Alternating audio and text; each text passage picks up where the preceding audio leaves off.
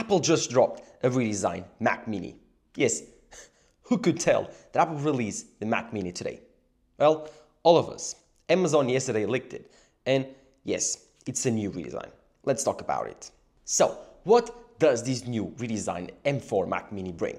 Well, for starters, a more efficient design.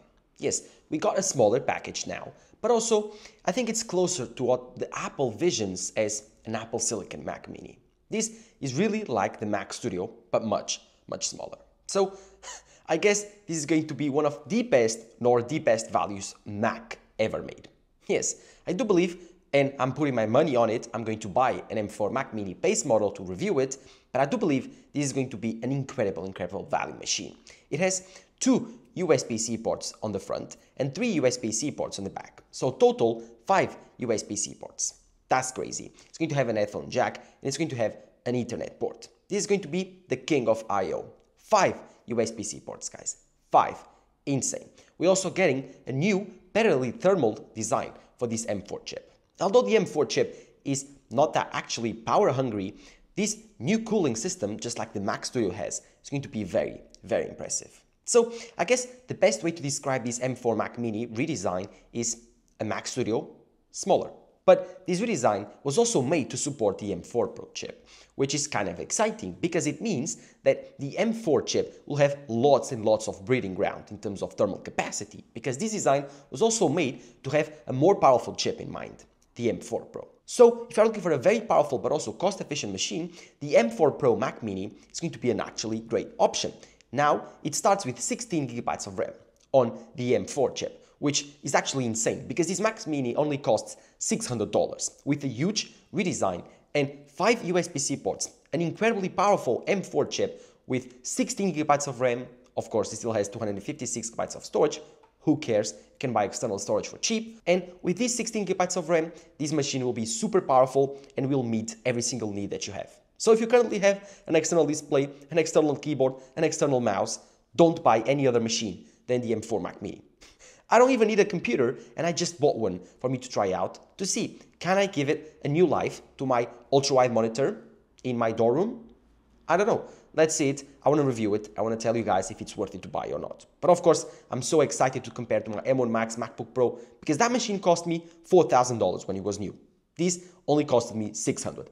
Let's see how close are they to each other and let's see how fast the M4 chip on a design that is not thermally constrained. So Yes, I'm very, very excited for this upcoming M4 Mac Mini. It's coming on the 8th of November and I will receive it, give it one week or so and I will review it.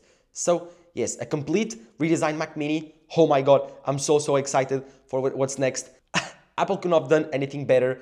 I don't really care about the newest M4 MacBook Pros, but I'm excited to see what happens tomorrow in terms of the M4 Pro and M4 Max. Apple just dropped the M4 Pro on the Mac Mini, so you can get one with the M4 chip or you can get one with the M4 Pro. It's quite simple. So we are now on the Apple website and as you can see the Mac Mini is already here. So let's learn more about this new Mac Mini and let's start to pre-order this machine.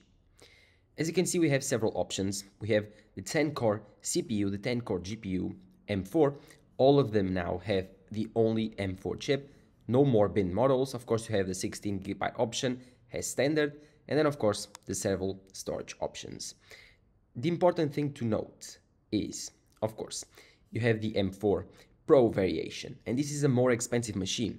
This is in dollars, as you can see, and it costs $1,400 with 512 gigabytes of storage.